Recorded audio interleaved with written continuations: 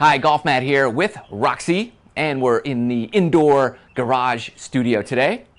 What are we working on? Uh, short game. Short game. The short game is key and crucial, and it doesn't really matter kind of what you do when you work on your short game. Is ma- it, what matters is you work on your short game, right? Yes. So today we're going to chip from the mat into the bucket, right? Yeah. It's only a few feet away. The key though is trajectory, just working on feel and getting a feel for the short game. You ready? Yes. Okay, so Roxy is going to chip off the mat, which if you're working on short game and you could chip off a mat, you're going to be pretty good, right? Because you are learning how to hit the ball cleanly. If you hit too far behind it, it's not going to be very good. And if you hit it thin, so it's a little more difficult off the mat, but it develops your game so, so good. All right, let's give it a shot.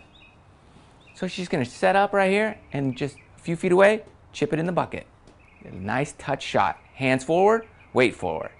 Chip it in the bucket. Almost. A little short. A little short, huh? Yeah. Do it again. It's all right. We've got a, we've got a lot of balls. Right? Just right there. You got to speed up as you go. Almost. A little short again. Little short, two in a row. So now what do you have to do? I'll make it. Try to make it. Speed up as you hit it, right? Hands forward, weight forward. When you're chipping, hands forward, hand forward, and weight forward.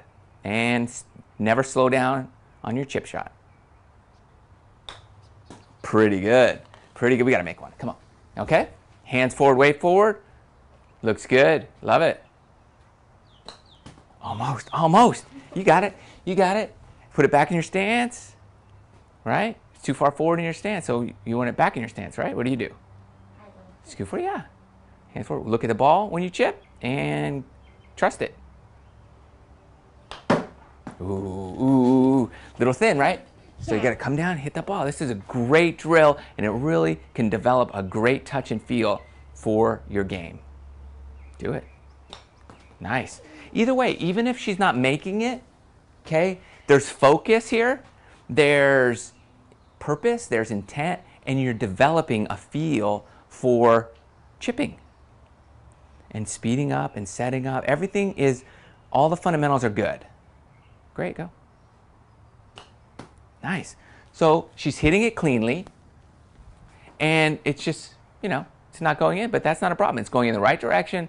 It's really close. Anytime you're ready. Made it. Right there, huh? Yeah. You got it.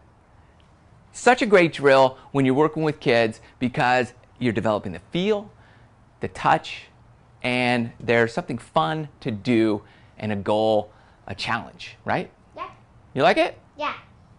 Give it a shot and uh, enjoy enjoy the course, enjoy your time teaching your kids. Take care.